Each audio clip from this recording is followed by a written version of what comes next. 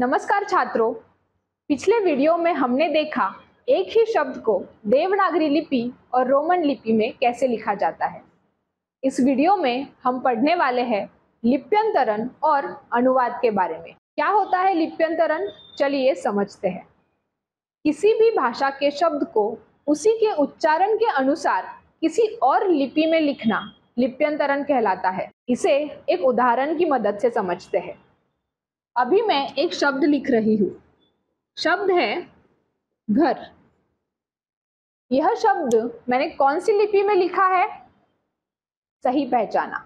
यह शब्द लिखा गया है देवनागरी लिपि में। इसी शब्द को अगर मुझे रोमन लिपि में लिखना है तो मैं उसे लिखूँगी जी एच ए आर घर।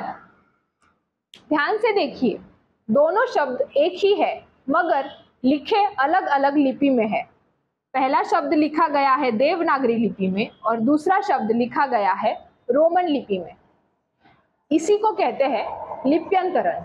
चलिए कुछ और उदाहरणों की मदद से समझते हैं लिप्यंतरण। मैदान। यह देवनागरी लिपि में लिखा गया शब्द है। इसे मैं रोमन लिपि में कुछ इस तरह लिखूँगी। रंग। यह देवनागरी लिपि में लिखा गया शब्द रोमन लिपि में कुछ इस तरह लिखा जाता है। अब देखते हैं वी स्कूल इसे देवनागरी लिपि और रोमन लिपि में कैसे लिखते हैं। देवनागरी लिपि में वी स्कूल यह शब्द कुछ इस तरह लिखते हैं। इसी शब्द को रोमन लिपि में लिखते हैं इस तरह। दोनों शब्द एक ही है। बस इनकी लिपियाँ अलग अलग है। इसी को कहते हैं लिप्यंतरण। आसान भाषा में लिपि में रूपांतर मतलब लिप्यंतरण। चलिए कुछ वाक्य की मदद से समझते हैं लिप्यंतरण क्या होता है। वीडियो में हम एक वाक्य देख सकते हैं।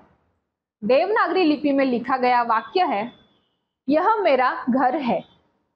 इसी वाक्य को अगर मैं लिप्यंतरित करके रोमन लिपि में लिखना चाहूँ तो वह कुछ इस तरह दिखेगा। यह मेरा घर है। यह था लिप्यंतरण। अब हम पढ़ते हैं अनुवाद के बारे में। क्या होता है अनुवाद? किसी भी भाषा के शब्द को अन्य भाषा में लिखने को अनुवाद कहते हैं। जैसे, गाय यह हिंदी भाषा का शब्द है। इसी शब्द को अंग्रेज़ी भाषा में काऊ कहते हैं। गाय, यह शब्द देवनागरी लिपि में लिखा गया है और काऊ, यह शब्द रोमन लिपि में लिखा गया है। लेकिन इन दोनों की भाषा भी अलग है। यह हिंदी भाषा में लिखा गया है और काऊ, यह शब्द अंग्रेज़ी भाषा में लिखा गया है। चलिए एक रंग की मदद से समझते हैं, अनुवाद क्या होता है। हरा रंग, यह शब्द हिंदी भाषा में ऐसे लिखते हैं। इसी को अनुवादित करते हुए अंग्रेज़ी भाषा में ग्रीन कलर।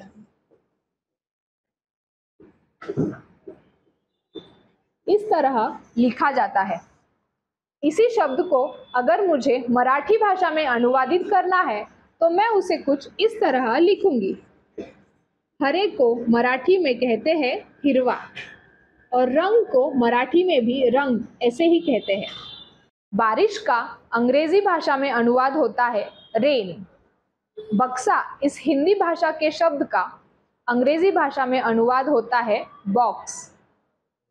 घर इस हिंदी भाषा के शब्द का अंग्रेज़ी भाषा में अनुवाद होता है होम।